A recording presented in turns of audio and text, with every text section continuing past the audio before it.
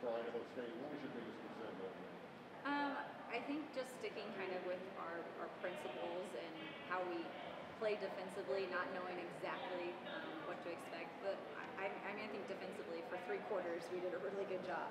Um, you know, that second quarter really hurt us, and we got in a hole that we had to dig our way out of. But for the most part, in terms of defensive prep, was our, our kids got after it. Um, if we could just take back that second quarter, that's the difference in the game right there. We just need to be more consistent for four quarters, especially against really good teams.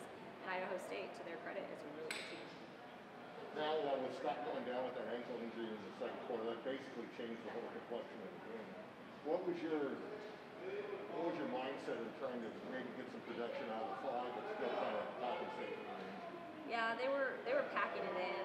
Um, the paint and sagging a lot, so we were trying to get penetration and get some inside out looks. It's hard when you I think we were two for 21 from three. Um, it's just a bad shooting night, and off shooting night when they're sagging a little bit is, is tough to overcome.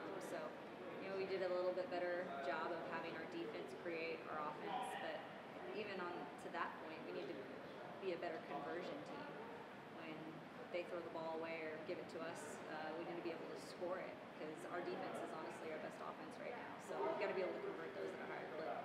Talk about their moving without the ball, like cutting their movement, and just kind of gave you fits all the game long.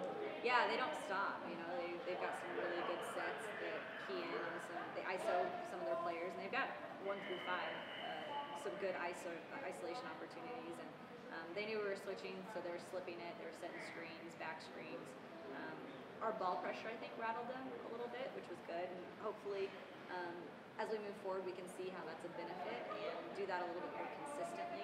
Because they were really out of rhythm when we pressure the ball. Uh, but when we're hanging back, we were able to make those easy passes at the rim, to easy layups. And they had a high field goal percentage because they were shooting in layup land. So we got to do a better job of that.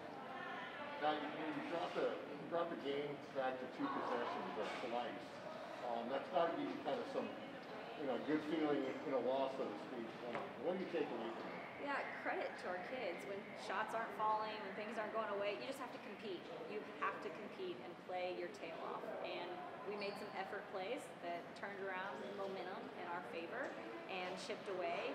Um, needed a little bit more time, but I definitely think um, I'm proud of the kids. I were we down 22 at one point and came back um, to get it within two possessions, and so that's something that uh, they're not.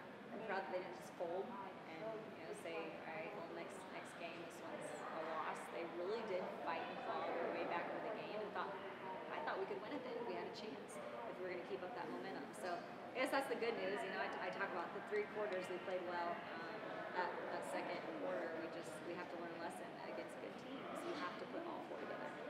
Now, going into the final month of the regular season, what's this is probably a good barometer to tell you where your team is Absolutely. uh, heading into. What, what do you take away from from the loss? Because obviously you're going to take more away from the loss than the win. You are totally right in the fact that that's a measuring stick. That's a team you can really measure up against. I mean, they were um, on the coaches poll preseason tied first um, in the Big Sky. So you know that's good conference against a good team, good competition. So I think this was a good game going into the majority of our WAC play to kind of get up a level, um, make sure we can we can execute at a high level in conference play, and this kind of got us ready for that next level of intensity and effort